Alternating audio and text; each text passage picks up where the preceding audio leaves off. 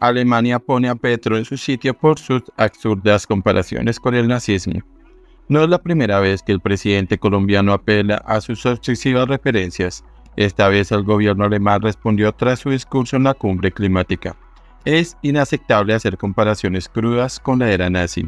Por Oriana Ríos para Parar Post.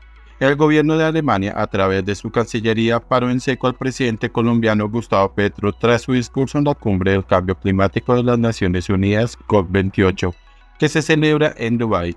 Allí el mandatario pretendió comparar la guerra entre Israel y el grupo terrorista Hamas con la crisis climática, aseverando que Hitler golpea los hogares de la clase media europea y norteamericana y muchos ya lo han hecho entrar la relación no solo lució forzada, sino que molestó a las autoridades en Berlín, quienes pusieron los puntos sobre las ideas al mandatario socialista colombiano.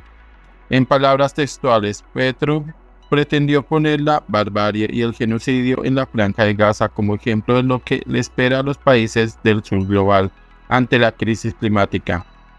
En su lógica, el punto común está en un vaciamiento de población del sur y su marcha al norte ante una enorme desigualdad social frente al consumo de carbón.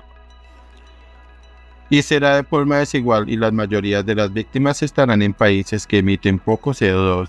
Sin transferencias de riquezas norte-sur tendrán menos agua e irán al norte.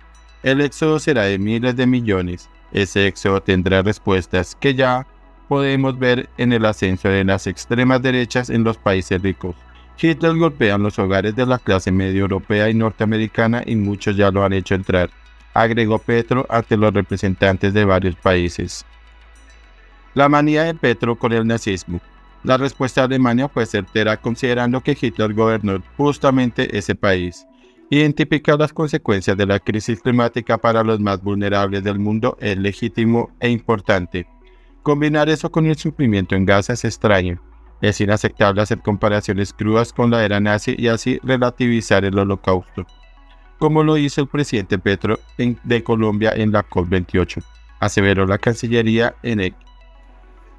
Tampoco es la primera vez que el presidente colombiano comete este tipo de desaciertos relacionados con sus excesivas referencias nazis. Por el contrario, es asiduo a recurrir a hipérboles en su necesidad de criticar o figurar en asuntos internacionales a pesar de que el nacionalsocialismo de Adolf Hitler era precisamente socialista. Por ejemplo, llamó campo de concentración a la megacárcel en El Salvador construida por orden del gobierno de Nayib Bukele, lo cual llevó a un enfrentamiento entre ambos en redes sociales. Utilizó la referencia nazi para referirse al desempeño del Partido Conservador Vox en las elecciones municipales y autonómicas de mayo pasado en España, es Alemania 1933, respondió Petro en Twitter a un mensaje de María Fernanda Cabal, senadora del Centro Democrático. A Javier Milei, el presidente electo en Argentina, lo relacionó con Hitler. El listado sigue y se vuelve más escandaloso.